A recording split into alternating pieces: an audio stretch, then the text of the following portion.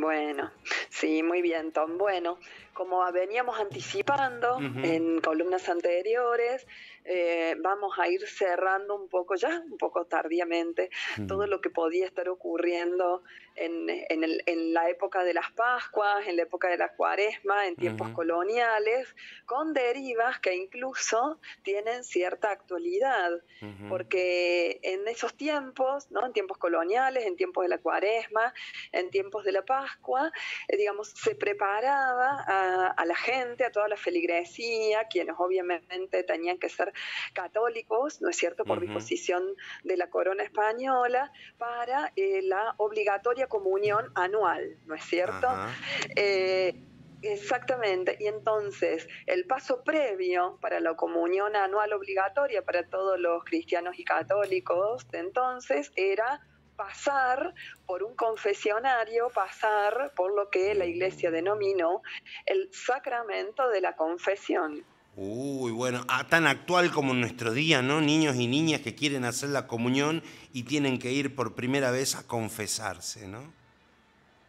Exactamente. Tan actual, digo. Yo espero que tan actual, eh, exactamente, y yo espero sinceramente que los catequistas de hoy eh, den mayores instrumentos a esos niños y niñas para enfrentarse a ese momento, porque en otros tiempos no, no se daban, ¿no? Mm. Reglas claras en relación en esas instancias. Eh, ¿Y por qué decimos actual, más allá de lo que vos señalás, Tom? Eh, porque en, esos, en, esas, eh, digamos, en esas situaciones, en esas confesiones anuales, lo que ocurría muchas veces era que los sacerdotes solicitaban sexualmente a las mujeres. No solamente a las mujeres, también solicitaban sexualmente a algunos varones, pero fundamentalmente el mayor grupo, digamos, de solicitadas en esa época, según hemos podido observar en documentos, ¿no es cierto?, son mujeres. Y vos te preguntarás cómo hacemos hoy para conocer esos hechos, ¿no? Sí, totalmente. Claro, porque digamos que tiene que ver con el qué secreto. Perverso, qué perverso, la verdad no lo sabía, Jacqueline, ¿eh? No, no, no, lo sabía, no lo sabía. Claro, bueno, las solicitaciones sexuales en confesión, digamos, tienen siglos, ¿no? Absolutamente siglos de historia. Lo que pasa es que ¿cómo sabemos de esto? Porque ¿quién va a hablar? ¿Y ante quién se va a denunciar? Ese es el asunto. ¿Cómo podemos saber hoy, a través de los documentos, quién generó esos documentos, de que estas mujeres pudieron decir, me solicitó sexualmente, me requirió sexualmente tal o cual sacerdote en tal o cual instancia. Y bueno, y fue a través de la Inquisición. Ya lo hemos reiterado varias veces, ¿no es cierto? En América eh, Latina se instauró la Inquisición, pero ¿qué quiso hacer la Inquisición? Quiso controlar a los propios sacerdotes que tenían que llevar adelante, ¿no es cierto?, el proceso de, comillas, evangelización en estas tierras y el sostener el orden de la iglesia en estas tierras. Entonces, ¿qué dijeron los inquisidores? Tenemos que saber qué sacerdotes están incumpliendo las reglas, ¿no es cierto?, del celibato, eh, digamos, para controlar a esos sacerdotes, obviamente, y bueno, y hacer algo con ellos, ¿no? Obviamente que no los castigaban, pero sí, digamos, les, les otorgaban eh, ciertos destinos o, o, los sacaban de los lugares, ¿es cierto? Eh, ¿Y cómo saber eso? ¿Quién iba a contar lo que había ocurrido durante una confesión? Bueno, la persona que había sido solicitada. Este Definitivamente la, víctima, sí.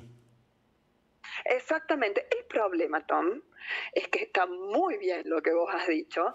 Eh, nosotros hoy los vemos como víctimas, pero y lo eran en realidad, ¿no?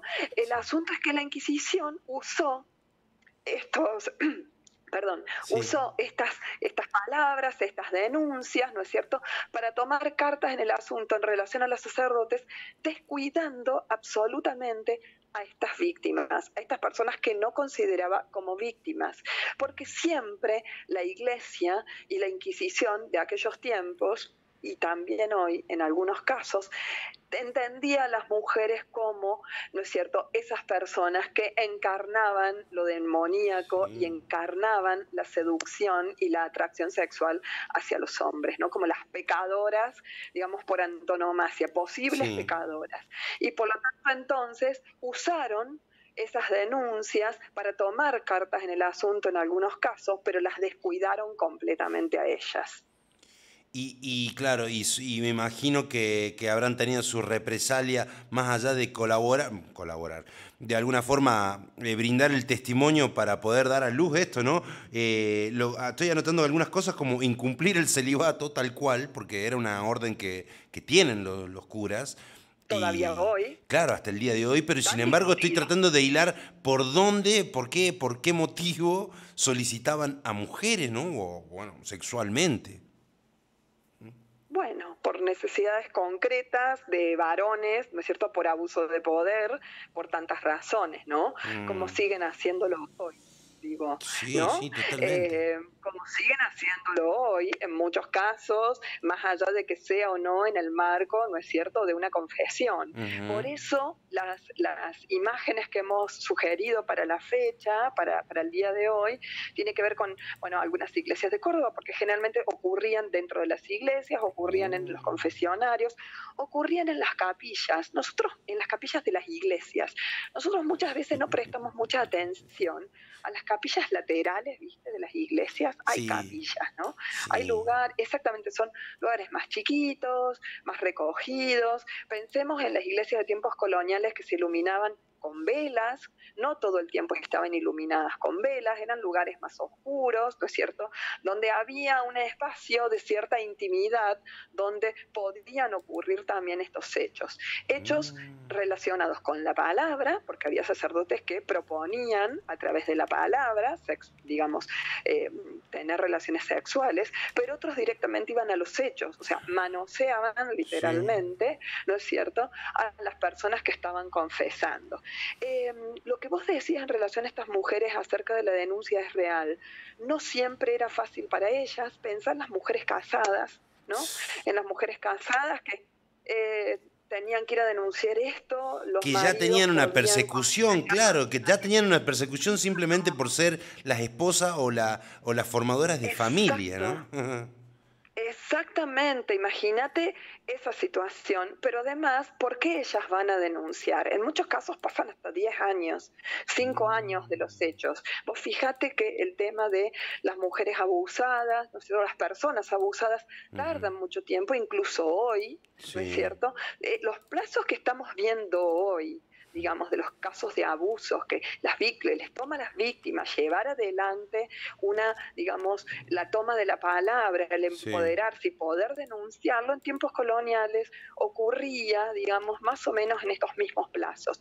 Pero ¿por qué ellas llegaban al, eh, digamos, a denunciarlos? Porque había otros confesores que cuando ellos les contaban lo que había ocurrido, les negaban la absolución, les negaban la absolución como si fueran pecadoras literalmente, estoy usando el vocabulario de la época, sí, Y hasta que no denunciaran los hechos ante el Santo Oficio, hasta que no denunciaran a ese solicitante, ellos no las absolvían. Por lo tanto, pensemos en la época colonial, la gente le tenía miedo al infierno, le tenía miedo, ¿no es cierto? A Todos los amedrentamientos que había sobre la... Sí, sobre justamente, ¿no? sé el miedo, el miedo a, y estar todo el tiempo que te estén juzgando por no ser, por ser o no ser cristiano, ¿no? Por estar o no estar evangelizado. Además, mm. exactamente, todo el tiempo, digamos, desde los púlpitos, te están amenazando con el infierno, te están amenazando con que no vas a tener vida eterna, te están amenazando con tanta cosa, ¿no es cierto? Y además del ser y parecer, como bien vos decís, que había que llevar adelante en tiempos coloniales, ¿no es cierto? Que obviamente estas mujeres forzadas van a denunciar. Insisto, son instrumentos de la Inquisición, no son víctimas digamos, no son visibilizadas como víctimas. La Iglesia y el Estado aprovecha estas palabras para tomar cartas en el asunto, digamos, dentro de, eh, bueno, del cuerpo de sacerdotes que están trabajando en ese momento. Tremendo. Estamos viendo imágenes también en nuestro canal de YouTube eh, con Jacqueline Bazar en la historia bajo la lupa de imágenes de bueno de, iglesias de Córdoba, ¿no? Y algunas estancias también. Me imagino que el interior también tendrá sus secretos, ¿no? Exactamente, ¿por qué la estancia de Carolla y por qué un confesionario que hemos encontrado en la iglesia de eh, la estancia de Carolla? Porque ahí se dio una solicitación de una esclava, de una mujer esclava en el año 1760. Un sacerdote la solicitó, la requirió sexualmente, las esclavas eran habitualmente también solicitadas, ¿no es cierto? Eh, pensemos, ¿no es cierto?, en esta cosificación que planteaba sobre las mujeres y sobre los varones en tiempos coloniales en relación a los esclavos, pero las mujeres esclavizadas también eran cosificadas sexualmente, ¿no? Por lo tanto, entonces, en muchos casos, eh, algunos sacerdotes avanzan ¿no es cierto?, sobre ellas, aun cuando estuvieran casadas y aun cuando fueran literalmente propiedad de la orden. Valeriana va a estar denunciando su confesor em, y bueno, digamos, eh, vos después me preguntarás también qué pasó con ellas y qué pasó con estos hombres, ¿verdad? Claro. Bueno, esos son los silencios a los que muchas veces nos enfrentamos con, las fuentes cuando trabajamos estos, estos casos. Con ellas no sabemos, hay grandes silencios, no sabemos qué pudo ocurrirles después, si hubo represalias, si hubo venganzas, cómo pudieron transitar sus vidas después de esto, porque eran sociedades pequeñas, ¿no? Al fin y al cabo mucho se sabía, por más que las cosas ocurrieran puertas adentro, detrás o dentro de un confesionario o mm. dentro de una iglesia. Y uno por ahí pone también esto, ¿no? De las distancias, eh, bien nombradas vos, eh, la distancia, bueno, de esto, ¿no? De, de exponerte en algún momento de la historia en el cual había mucho pánico, mucho miedo. Psicológicamente para una, para una víctima exponer eh, su testimonio eh, es costoso, ¿no? Incluso lo vemos ahora en tiempos actuales, digo, y lleva un periodo en el cual la víctima tiene que hacerse de una, de una fuerza, de una, sí, de una, de una conciencia, de un, de un tratamiento psicológico muy fuerte, el cual, bueno, quizás en estos tiempos hay quizás, no sé, no lo sé con seguridad, pero da la, da da la, sensación de que hay un poco más de acompañamiento en estos, en estos tiempos, pero en esa época, claro, pienso en los silencios, la gente que se tiene que haber, eh, no sé, eh, ido del lugar donde vivía, eh, haber empezado otra historia desde cero, porque también eso, ¿no? Mucha persecución indirecta, por así decirlo, ¿no? Sí, tal cual. Sí, los, digamos, dependiendo de los recursos que mm. cada persona, y cuando digo recursos no solamente estoy hablando en términos económicos, sino de la posición social, cómo pudieron resolverlo, eh, de algún modo. Vos sabés que varias de estas denuncias que, hemos encontrado expuestas ante la comisaría de la Inquisición de Córdoba no tuvieron una resolución definitiva. Eh, vos sabés que ocurría en muchos casos de que como esta denuncia la hace una persona solicitada frente a otros sacerdotes, y estamos hablando en plural, porque estamos hablando de un comisario, de un escribano que también es sacerdote, ¿no es cierto?, de un acompañamiento que tenía la Inquisición, en ese momento, que en muchos casos, ¿no es cierto?, o eran élite eh, o eran sacerdotes, eh, trabajan corporativamente también de algún modo, ¿no? O sea, eh, receptan la denuncia porque queda mal no hacerlo, eh, pero después no tramitan la causa ante Lima, no mandan la denuncia a Lima o si la enviaron a Lima, allá resolvieron no tratarlos porque los casos, finalmente no, digamos, estos casos, estas denuncias no se convirtieron en causas judiciales. Claro, claro, claro, claro. Eso, eso también es importante saberlo. La iglesia también fue cómplice entre pares, y lo sigue siendo, porque lo sabemos, ¿no? Eh, en relación a estos casos. Eh, y en otros donde había un escándalo muy grande porque hubo sacerdotes en la jurisdicción de, digamos, de lo que es la actual Argentina, en el Tucumán, donde tenían prácticamente, eh, ¿no? Vivían con mujeres y con varias mujeres a la vez, como hubo un caso en Catamarca, o un solicitador de, de Mendoza, ¿no es cierto?, que también, o sea, era tan reiterado y escandaloso las solicitaciones sexuales y los avances en el manoseo sobre mujeres que estaban prácticamente al borde de la muerte. Ellos sí fueron juzgados, pero la Inquisición ordenaba recluirlos en un determinado convento, lejos de la región donde había solicitado a las mujeres, y no había más castigo que ese, ¿no? A la hoguera, obviamente, los solicitadores no fueron. Claro, no, no, claro.